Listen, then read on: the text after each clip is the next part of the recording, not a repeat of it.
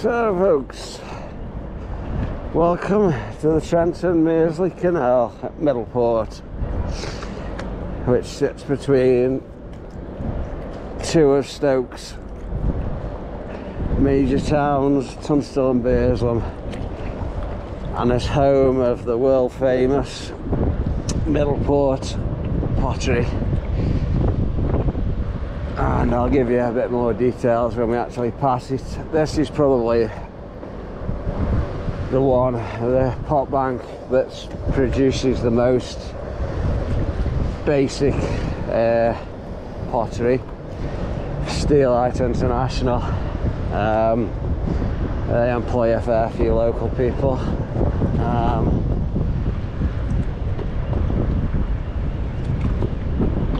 and uh, they're getting busier from what I gather.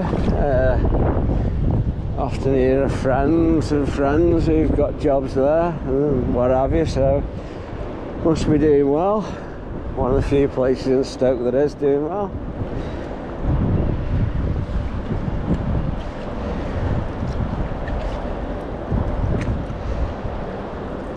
So yeah, that's Steelite. Guess his shift change is on.